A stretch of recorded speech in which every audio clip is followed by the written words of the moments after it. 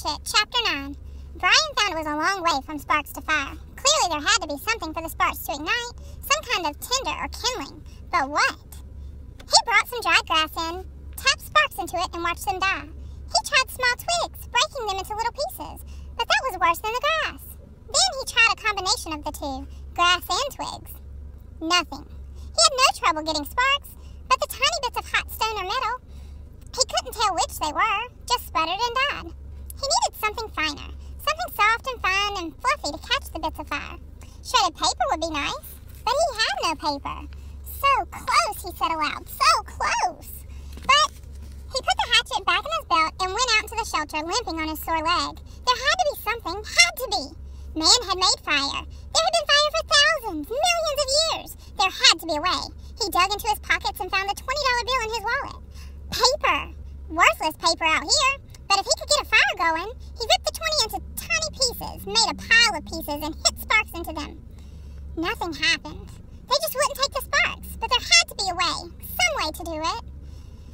Not 20 feet to his right, leaning out over the water, were birches, and he stood looking at them for a full half minute before they registered in his mind. They were a beautiful white with bark like, clean, slightly speckled paper. Paper! He moved to the trees. Where the bark was peeling from the trunks, it lifted in tiny tendrils, almost. Brian plucked some of them loose, rolled them in his fingers. They seemed flammable, dry, and nearly powdery. He pulled and twisted off bits of the trees, packing them in one hand while he picked them with the other, picking and gathering until he had a wad close to the size of a baseball. Then he went back into the shelter and arranged the ball of birch bark peelings at the base of the black rock. As an afterthought, he threw in the remains of the $20 bill. He struck, and a stream of sparks fell into the bark and quickly died. But this time, one spark fell on one small hair of dry bark, almost a thread of bark, and seemed to glow a bit brighter before it died. The material had to be finer. There had to be a soft and incredibly fine nest for sparks. I must make a home for the sparks, he thought.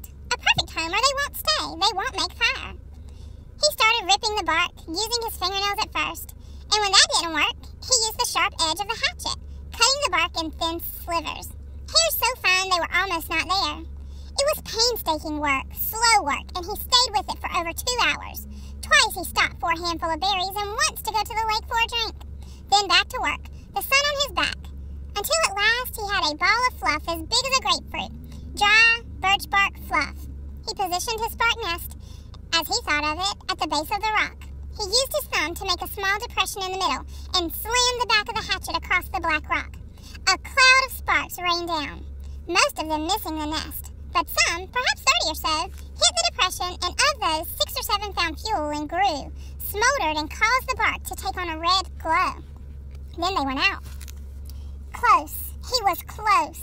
He repositioned the nest, made a new and smaller dent with his thumb, and struck again. More sparks, a slight glow, then nothing. It's me, he thought. I'm doing something wrong. I do not know this. A cave dweller would have had a fire by now, and Cro-Magnon Man would have had a fire by now, but I don't know this. I don't know how to make a fire. Maybe not enough sparks. He settled the nest in place once more and hit the rock of blows as fast as he could. The sparks flowed like a golden waterfall. At first they seemed to take. There were several, many sparks that found life and took briefly. But they all died. Starved. He leaned back. They are like me. They are starving. It wasn't quantity. There were plenty of sparks, but they needed more. I would kill, he thought suddenly, for a book of matches. Just one book, just one match. I would kill. What makes fire? He thought back to school, to all those science classes. He had, he, had he ever learned what made a fire? Did a teacher ever stand up and say, this is what makes a fire? He his tried to focus his thoughts. What did it take? You have to have fuel, he thought. And he had that. The bark was fuel. Oxygen, there had to be air. There had to be oxygen. He needed to add air. He had to fan on it, blow on it. He made the nest ready again, held the hatchet backward, tensed and struck four quick blows. Sparks came down, he leaned forward as fast as he could, and blew. Too hard. There was a bright, almost intense glow, and then it was gone. He had blown it out. Another set of strikes, more sparks. He leaned and blew, but gently this time, holding back and aiming the stream of air from his mouth to hit the brightest spot. Five or six sparks had fallen in a tight mass of bark hair, and Brian centered his efforts there. The sparks grew with his gentle breath. The red glow moved from the sparks themselves into the bark. moved and grew and became worms, glowing red worms that crawled up the bark hairs and caught other threads of bark and grew until there was a pocket of red as big as a quarter, a glowing red coal of heat. And when he ran out of breath and paused to inhale, the red ball suddenly burst into flame. Fire! He yelled, I've got fire! I've got it! I've got it! I've got it! But the flames were thick and oily and burning fast, consuming the ball as fast as, it, as if it were gasoline. He had to feed the flames, keep them going, Working as fast as he could, he carefully placed the dry grass and wood pieces he had tried at first on top of the bark and was gratified to see them take. But they would go fast. He needed more and more. He could not let the flames go out. He ran from the shelter to the pines and started breaking off the low, dead, small limbs. These he threw in the shelter, went back for more, threw those in, and squatted to break and feed the hungry flames. When the small wood was going well, he went out and found larger wood and did not relax until that was going. Then he leaned back against the wood brace of, the, of his door opening and smiled. I have a friend, he thought. I have a friend now. A hungry friend, but a good one. I have a friend named Fire.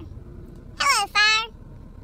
The curve of the rock made an almost perfect drawing flue that carried the smoke up through the cracks of the roof, but held the heat.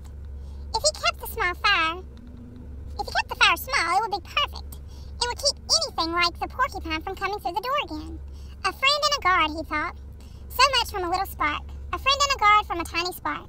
He looked around and wished he had somebody to tell this thing, to show this thing he had done. But there was nobody. Nothing but the trees and the sun and the breeze and the lake. Nobody. And he thought, rolling thoughts, with the smoke curling up over his head and the smile still half on his face, he thought, I wonder what they're doing now. I wonder what my father is doing now. I wonder what my mother is doing now. I wonder if she's with him.